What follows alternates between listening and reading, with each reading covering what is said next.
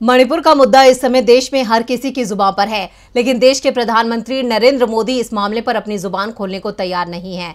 संसद में इसे लेकर हंगामा मचा है, विपक्ष पीएम मोदी से संसद में आने की मांग कर रहा है।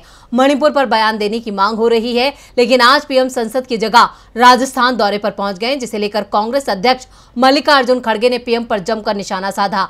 क्या कहा खड़गे ने? देखते हैं ये रिपोर्ट। विपक्ष मांग कर रहा है कि प्रधानमंत्री नरेंद्र मोदी संसद में आए मणिपुर पर बयान दे। पीएम को संसद में लाने के लिए अब तो विपक्ष अविश्वास प्रस्ताव भी ले आया, जिसे स्वीकार भी कर लिया गया है। अब इंतज़ार इस पर चर्चा का है।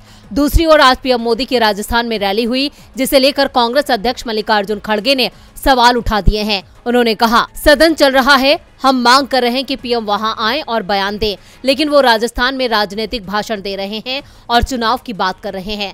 जब वो वहाँ जा सकते हैं तो क्या आधे घंटे के लिए सदन में आकर बयान नहीं दे सकते?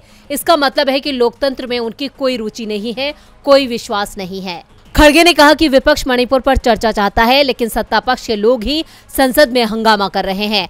वो लोग खुद ही सदन नहीं चलने दे रहे हैं। मुझे बोलने नहीं दिया जा रहा है। ऐसा पहली बार देख रहे हैं कि सदन में सत्ता पक्ष ही हंगामा कर रहा है।